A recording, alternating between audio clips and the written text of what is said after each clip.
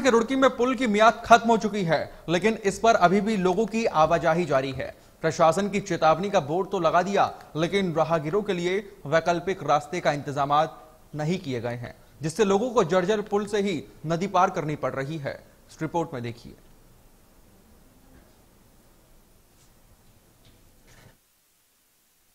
ज़िम्मेदारी पूरी हो जाती है।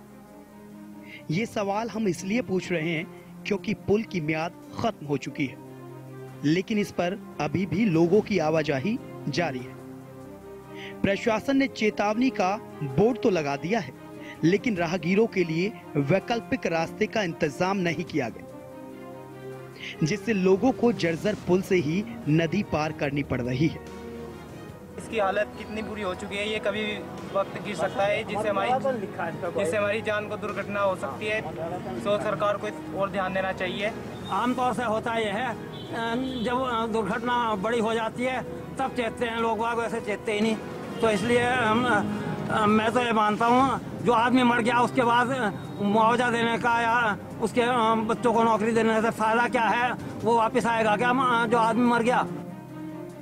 साल 1980 में बना ये पुल, अब खस्ता हाल है। पुल में बड़े बड़े छेद हो गए हैं, जो जिम्मेदार विभाग को दिखाई नहीं देते। इसलिए अभी तक पुल की सुध लेने की जहमत किसी भी जिम्मेदार विभाग के आला अधिकारी ने नहीं उठाई। जब बजट आएगा तो रिपेयर मिल जाएगा उसके प्रस्ताव बना के भेज